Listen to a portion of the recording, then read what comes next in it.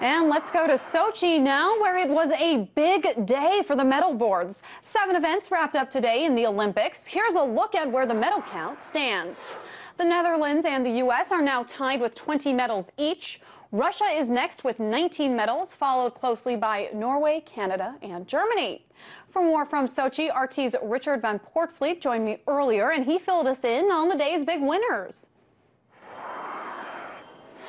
Well, just concentrating on Team USA, things got off very well for them very early in the morning in Sochi as they claimed a bronze in the men's snowboard cross. That going to Alex Deibold, while France taking the gold medal and the silver medal for the Russians also through Nikolai Olyunin.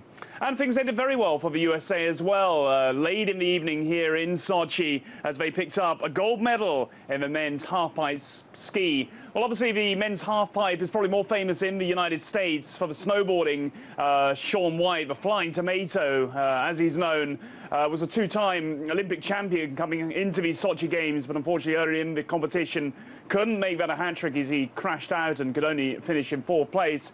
But uh, better fortunes for the Americans in the men's half-pipe ski as David Wise. Well, he had an excellent first run, scoring 92 points, and that was a good enough to give him and America the gold medal. Uh, Wise faltered somewhat on his second run, scoring only three points, but that didn't matter as the USA uh, got gold and claimed their sixth gold medal so far at uh, the Sochi Olympics.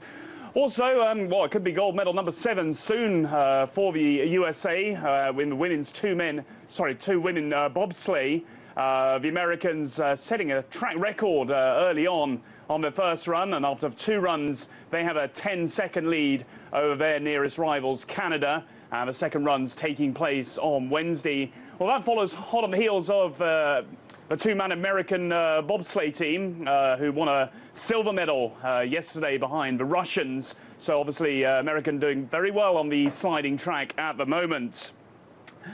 So just to recap, after uh, Tuesday's events, America with six golds, uh, four silvers and 10 bronzes, 20 medals overall, and perhaps on track to beat the record they set in uh, Vancouver four years ago, where they won 37 medals, including nine golds. Very impressive. Now, I understand there is a very big matchup coming up between the U.S. and Canada for women's hockey. Team USA was very disappointed in its showing the last time. Any ideas how they are changing their strategy this time around? Well, they're not really going to change their strategy much because, I mean, the Canada and the USA, they've played each other so many times over the last few years. Canada, of course, they're the reigning gold medalists after winning in Vancouver. But the USA, they got the bragging rights last time out in a major tournament, uh, winning the Women's World Championships in Ottawa, beating the USA 3-2 in the final. Well, the two teams have actually met so far in Sochi here. Uh, that was in the group stages where Canada just edged out uh, what was really a lackluster USA side by 3 to 2. So the USA definitely with a point to prove there. But uh, they seem to getting back to form uh, in a big way. They crushed Sweden 6 to 1 in the semi-finals en route to the gold medal game.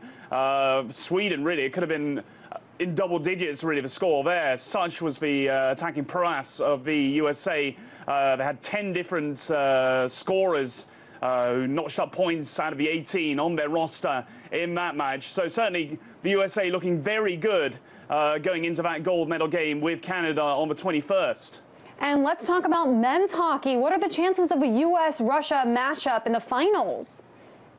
Well, actually a fairly good chance. There's a very good chance of a Russia-USA matchup in the final because basically the two teams have been uh, on different parts of a draw. You have Russia in the top part of a draw after only finishing fifth after the uh, preliminary stages. The USA uh, finishing second, so they're in the bottom half.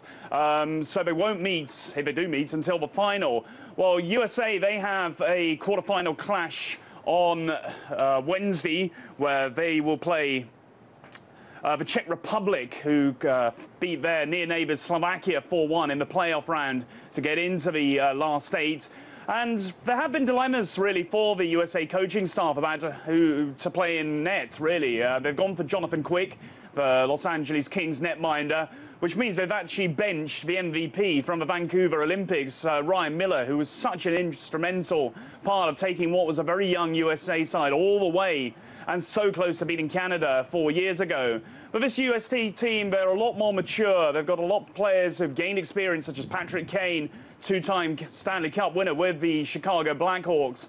And they're looking very impressive. They've scored the most goals so far uh, Uh, after the group stages, netting 15 and just conceding four.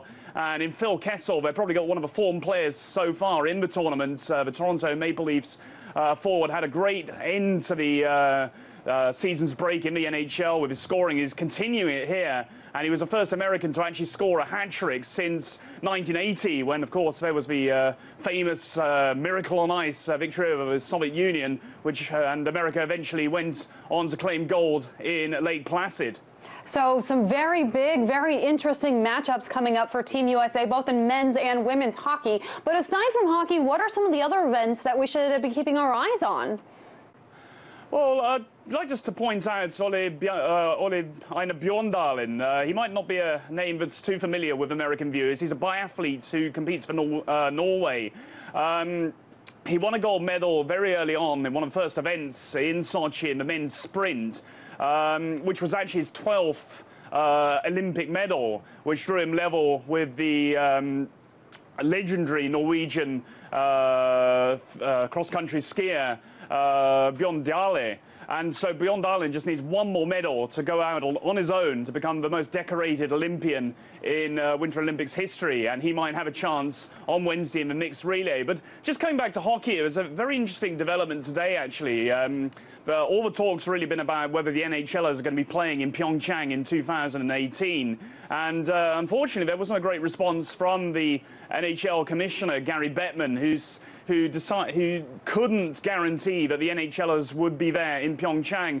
I mean, I was chatting to Corey Perry, the Canadian forward and the Anaheim Ducks forward, uh, this afternoon, and he was saying just how he's enjoying these, this tournament. And in general, that's been the whole, uh, everyone really um, who's participating in this hockey event has really enjoyed uh, taking part. And it's just about bringing hockey to new audiences as well. The ratings for the Sochi Olympics have been fantastic. Of course, everyone remembers the Russia versus USA game uh, in the pool stage, which was probably one of the best games I've seen in a long, long time.